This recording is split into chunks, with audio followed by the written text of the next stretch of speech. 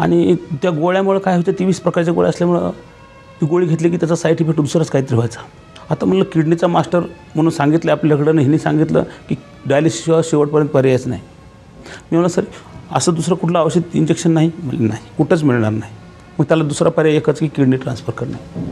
मग दिसल तो डॉक्टर आयुर्वेदिक असेल कुठला असेल त्यांना जाऊन भेटणे ह्याच्यावर चर्चा करणं. पण सगळ्यांनी सांगितलं डायलिसिस बंद करावं लागेल आमच्या मुलांनी पेपर वाचला. त्यात माने सरांचं नाव होतं मॉडर्न होमिओपॅथिक म्हणून. तर ते वाचल्यानंतर आम्ही माने सरांकडे गेलो होतो. माने सरांच्या समोर गेलो. त्यांना ती पूर्ण फाईल दाखवली. त्यांनी अर्धा एक तास ती पूर्ण चेक केली. आणि चेक केल्यानंतर मी अशी हिस्ट्री त्यांना पूर्ण सांगितली.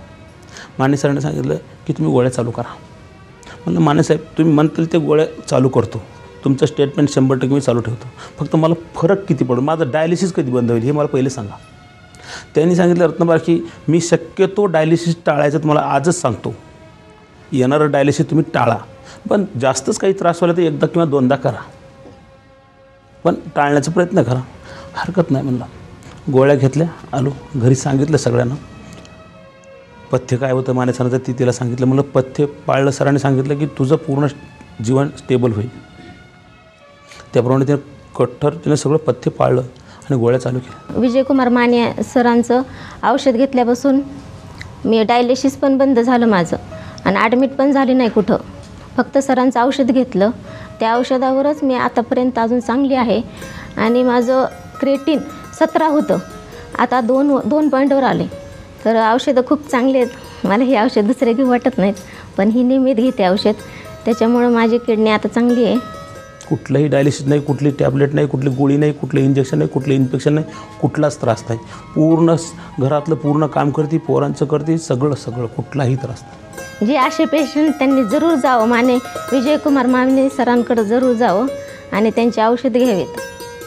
आणि माझ्यासारखं जीवन आनंदात जगावं सगळ्यांनी. आणि मॉडर्न होमिओपॅथिकमधून नवसंजीवनी जी काही औषध निर्माण केलं आहे माने सरांना त्यांचे आम्ही आभार मानतो आणि मॉडर्न होमिओपॅथिकला थँक्यू करतो तर आपण पाहिलं की खरोखरच या रुग्णाला कशाप्रकारे त्रास झाला होता आणि मॉडर्न होमिओपॅथीच्या द्वारे आज सामान्य आयुष्य जगताना हे लोक किती आनंदी आहेत याविषयी आपण डॉक्टरांकडनं ही चर्चा ऐकणार आहोत परंतु इथे वेळ झाली आहे एका छोट्याशा ब्रेकची किडनीच्या आजाराबद्दल सल्ला आणि मार्गदर्शनासाठी खालील क्रमांकावर मिस कॉल करा.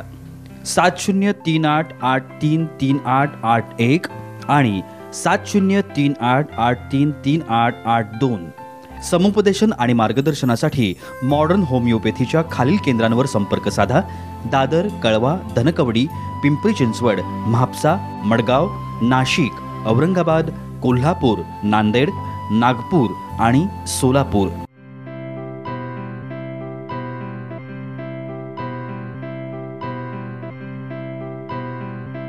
संपर्क क्रमांक नऊ सात तीन शून्य तीन तीन नऊ शून्य शून्य नऊ आणि नऊ तीन सात दोन सात दोन आठ शून्य शून्य नऊ. टोल फ्री क्रमांक एक आठ शून्य शून्य एक दोन एक आठ शून्य शून्य नऊ. Website modern homeopathy dot co dot in email I D info at the rate modern homeopathy dot co dot in आणि kidney cure clinic at the rate Gmail dot com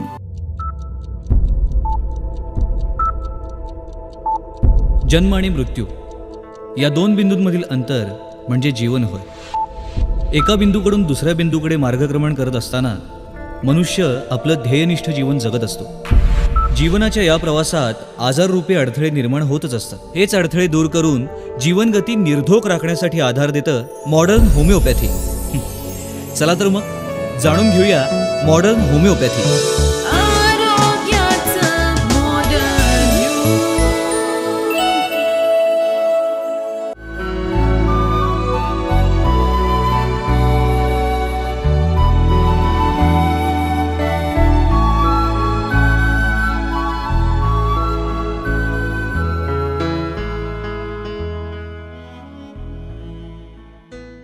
ब्रेकनंतर आरोग्याचं मॉडर्न युग या आपल्या विशेष कार्यक्रमात तुमचं सगळ्यांचं पुन्हा एकदा स्वागत. तर सर ही आपण बाईट ऐकली. रत्नपारखे रत्न पारखे म्हणून जे रुग्ण आहेत ते तुमच्याकडे आले होते. मॉडर्न होमिओपॅथी ची उपचार पद्धती त्यांनी घेतलेली आहे. त्यांची हालपेष्टा जी आहे ती आपण त्यांच्या स्वतःच्याच तोंडून ऐकलेली आहे. आणि खरोखरच मॉडर्न होमिओपॅथीच्या उपचारानंतर आज ते इतकं छान आयुष्य जगतात मला वाटतं मॉडर्न होमिओपॅथीचं हे सगळ्यात मोठं यश आहे अशा प्रकारचे रुग्णांना जेव्हा सामान्य आयुष्य मिळतं तेव्हा असं म्हणायला हरकत नाही. या केसविषयी काय सांगाल? कशा प्रकारे हे स- हा सगळा त्यांचा प्रवास जो आहे तो तुमच्याकडनं ऐकायला आवडेल? अगदी. आपण पाहिलेच की पेशंटची कंडिशन ही खूपच क्रिटिकल होती. बाळणपण पश्चात त्यांना कंटिन्युअस डायलिसिस करावं लागले. डायलिसिस करून त्यांना भरपूर त्रास होत होता. पण डायलिसिस करून सुद्धा पेशंटला काही उपयोग होत नाहीये. पेशंटचा त्रास वाढतोच आहे. हे पाहिल्यानंतर त्यांच्या कन्सल्टंट डॉक्टरांनी त्यांना किडनी प्रत्यारोपणाचा सल्ला दिला. ह्या सर्व आजारांसाठी त्यांचे नातेवाईक ते स्वतः सुद्धा खूप थकले होते. शारीरिक मानसिक आर्थिक सर्व प्रकारचा त्रास पेशंटला त्यांच्या नातेवाईकांना होता. शेवटी सर्व काही त्यांनी दैवावर सोडलं होतं. आता जे काही होईल ते देवच बघेल. अशा वेळेस जे त्यावेळेस मॉडर्न होमिओपॅथीच्या क्लिनिकमध्ये आले डॉक्टर विजयकुमार माने सर यांच्याकडे त्यावेळेस त्यांची केस सरांनी खूप बारकाईने तपासली. पेशंटची कंडिशन काय आहे? पेशंटचा किडनीचा आता स्टेटस काय आहे? किडनी किती प्रकारे काम करते? त्याचा त्यांच्या शरीरावर काय त्रास होतोय? ह्या सर्व गोष्टी तपासल्या व्यवस्थित. आणि मग त्यांना आपल्या मॉडर्न होमिओपॅथीच्या क्युरेटिव्ह लाईन ऑफ ट्रीटमेंटला सुरुवात केली. पेशंटला जो काही आजार आहे त्याच्यामुळे किडनीवरती काय प्रेशर पडतोय? कंटिन्युअस डायलिसिस बाळणपणानंतर होणारा त्रास आणि अ, वेगवेगळ्या औषधांचा प्रचंड मारा. ह्यामुळे जो काही पेशंटला त्रास झालेला आणि त्यामुळे किडनीवरती जो धोका निर्माण झालेला ह्याला अनुसरून सरांनी मग व्यवस्थित औषध ट्रीटमेंट सुरू केली. त्याचबरोबर पेशंटनी कुठल्या प्रकारची औषधं आणि टाळली पाहिजेत खाण्यापिण्यामध्ये काय पथ्य पाळली पाहिजेत ह्या सर्व गोष्टी करताना मेडिसिन घेताना कुठेही चुकले नाही पाहिजे ह्याची हमी पेशंटकडून सरांनी घेतली. पेशंटने सुद्धा आजार आजारपणामध्ये पथ्य वगैरे जी काय आहे ती पूर्ण काटेकोरपणे पाळली. त्याचबरोबर औषधं वेळेवरती घेतली आणि शेवटी आपण रिझल्ट पाहत आहात. पेशंटला अडीच वर्षाच्या काळामध्ये कुठल्याच प्रकारचं ऍडमिशन हॉस्पिटलायझेशन करायची गरज पडली नाही. डायलिसिस करण्याची गरज पडली. नाही. पेशंटला कुठल्या प्रकारचा त्रास झाला नाही. आणि एवढे सगळे करताना आपल्या औषधांनी कुठल्याच प्रकारचे साईड इफेक्ट पेशंटला झाले नाही. ही खूप मोठी अचिव्हमेंट आहे आमच्यासाठी.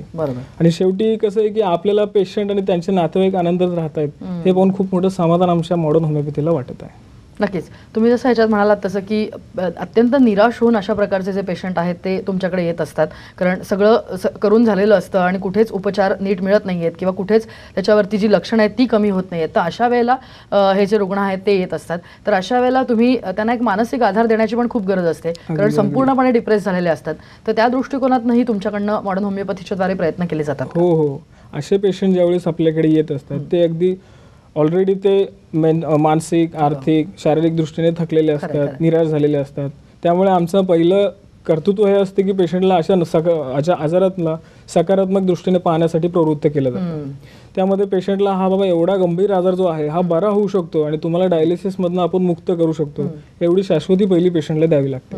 त्याच वेळी पेशंटचा कंटिन्युअस फॉलोअप घेतला जातो. फर्स्ट कन्सल्टेशनच्या वेळेस पेशंटची किडनीचं फेल्युअर कुठल्या स्टेजमध्ये आहे? डायलिसिसची तेवढी गरज पडते आहे का? डायलिसिस करून सुद्धा पेशंटला उपयोग होतोय नाही होतोय याचं अनालिसिस केलं जातं. आणि त्या प्रकारे मग त्यांना होमिओपॅथी किट मॉडर्न होमिओपॅथीमधून दिलं जातं. बरं. त्याचबरोबर जे आहारामध्ये पथ्य आहेत त्या आपली औषधं जास्तीत जास्त क्रियाशील व्हावी त्याच्यासाठी आपल्या जीवनामध्ये काय बदल करायला पाहिजे? बरं. याच्याबरोबर याच्यासाठी सुद्धा गाईडलाईन्स दिल्या जातात. अच्छा. नक्कीच म्हणजे सगळ्या दृष्टिकोनातनं आपण आहार असेल किंवा काही व्यायाम पद्धती हो. असतील किंवा इतर कुठल्याही गोष्टी आहेत अशा प्रकारे पूरक जो आहे तो आपण जो विचार केलेला असतो त्या पेशंटच्या दृष्टिकोनातनं हे इथनं बघायला मिळत आहे मला तुम्हाला आता आता हे विचारायचं आहे की मॉडर्न होमिओपॅथीच्या दृष्टिकोनातनं जर का आपण बघितलं की हे समुपदेशनही आपण करतोय परंतु अशा प्रकारचे जेव्हा किडनी फेल्युअरचे जे पेशंट येत असतात तेव्हा आपण तुम्ही म्हणालात तसं की हॉस्पिटलायझेशन होत नाही किंवा डायलिसिस होत नाही तेव्हा अशा प्रकारे ओपीडी बेसिसवरती जेव्हा ही आपण ट्रीटमेंट करत असतो तेव्हा पेशंट्सचा एक विश्वास किंवा त्यांचा ट्रस्ट मिळणं तेही तेवढंच महत्त्वाचं असतं. तर त्या दृष्टिकोनातनं ओपीडी बेसिसची ट्रीटमेंट त्यांना समजवताना तुम्हाला कुठल्या प्रकारचा हे येत नाही का? म्हणजे. लिमिटेशन येत नाही का? हो. पहिल्यांदा ज्यावेळेस पेशंट आपल्याकडे येतो आणि आपण त्यांना ज्यावेळेस सांगतो की आपली जी ट्रीटमेंट ही ओपीडी बेसिसची आहे. त्यावेळेस खूप आश्चर्यकारक होतात. कारण जी काही ट्रीटमेंट त्यांनी आधी घेतलेली असती हॉस्पिटलमध्ये ऍडमिट होऊन आयसीयू मधल्या सगळ्या त्या सिनेरिओ पाहून ते थकलेले असतात. आणि ओपीडी बेसिसवरती आपल्याला ह्या आजारातनं मुक्तता मिळू शकते. याच्यावरती त्यांना पहिली गोष्ट म्हणजे बिलीव्ह होत नसते. मग ते पहिलं त्यांना आपल्याला अनालिसिस करावं लागतं काउन्सिलिंग करावं लागतं पेशंटचं की तुम्ही आपली औषध पद्धती घेतल्यानंतर कशा प्रकारे बरे होणार आहात? आपली औषध पद्धती म्हणजे जादू नाहीये. की ते औषधं घेतली की लगेच बरे होणार आहे. रेग्युलर फॉलोअप ठेवावा लागतो. फॉलोअपच्या वेळेस जे काही रेनल फंक्शन आहे किडनीचं काम कसं चाललं हे पाहण्यासाठी काही रक्ताच्या तपासण्या कराव्या लागतात. बरं. त्याचबरोबर आपण मेडिसिन देताना जो असतो तो एक महिन्याचा डोस एकत्र देत. असतो. एक महिन्याचा डोस ज्यावेळेस संपून परत पेशंट वापस फॉलोअपसाठी येणार असतो त्यावेळेस एक महिन्यामध्ये पेशंटला जो सिम्टमॅटिक ट्रबल्स असतात जो काही त्रास होत असतो त्याच्यामध्ये लक्षणांमध्ये किती सुधार झालेला आहे हे आपण पाहतो. त्याचबरोबर जे रिपोर्ट्स आपण प्रत्येक वेळी रक्ताचे लघवीचे करत असतो. त्याच्यातनं creatinine level blood urea level ह्या गोष्टी किती कंट्रोलमध्ये आलेल्या आहेत हे आपण पाहत असतो. आणि त्याचं अनालिसिस केल्यानंतर आपल्याला कळते की पेशंटमध्ये काय सुधार झालाय. ह्या सुधार जो आहे हा पेशंटला आपण ज्यावेळी समजून सांगतो की एवढा एवढा फरक तुमच्यामध्ये पडला आहे त्यावेळेस त्याला त्याची अनुभूती होते की हा बाबा आपल्याला आपल्या कंडिशनमध्ये सुधार होतो आणि कुठल्या प्रकारचं डायलिसिस न करता हा सुधार होतोय. या हा ज्यावेळेस पेशंटमध्ये कॉन्फिडन्स तयार होतो त्यावेळेस त्याला निश्चितपणे आपण वेगळं काही सांगायची गरज नसते. औषधं व्यवस्थित घेणे आणि पथ्य व्यवस्थित पाळणे. या दोन गोष्टी तो व्यवस्थित करत जातो आणि डायलिसिस सारख्या चक्रात तो बाहेर निघतो.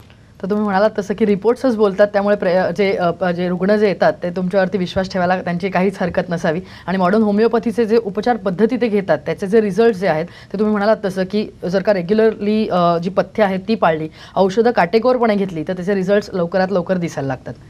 नक्कीच. मला वाटतं किडनी फेल्युअर हा विषय खूप मोठा आहे आणि त्या सगळ्यावरती मला तुमच्याशी चर्चा करायची आहे. कारण आता आपण किडनीचं जे फंक्शनिंग आहे कशा प्रकारे चालतं त्या सगळ्यावरती बघितलेलं आहे. परंतु किडनी फेल्युअर किंवा किडनी विकार जे आहेत त्या सगळ्यावरती मॉडर्न होमिओपॅथी कशा प्रकारे काम करते या सगळ्याविषयी मला तुमच्याशी चर्चा करायची आहे. परंतु आज तुम्ही इथे आलात आणि या सगळ्या याच्यावरती छान मार्गदर्शन केलं त्याबद्दल धन्यवाद. धन्यवाद.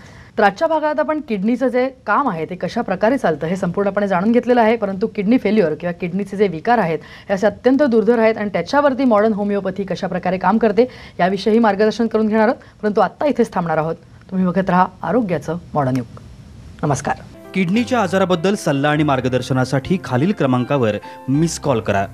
सात शून्य तीन आठ आठ तीन तीन आठ आठ एक आणि सात शून्य तीन आठ आठ तीन तीन आठ आठ दोन. समुपदेशन आणि मार्गदर्शनासाठी मॉडर्न होमिओपॅथीच्या खालील केंद्रांवर संपर्क साधा. दादर कळवा धनकवडी पिंपरी चिंचवड म्हापसा मडगाव नाशिक औरंगाबाद कोल्हापूर नांदेड नागपूर आणि सोलापूर.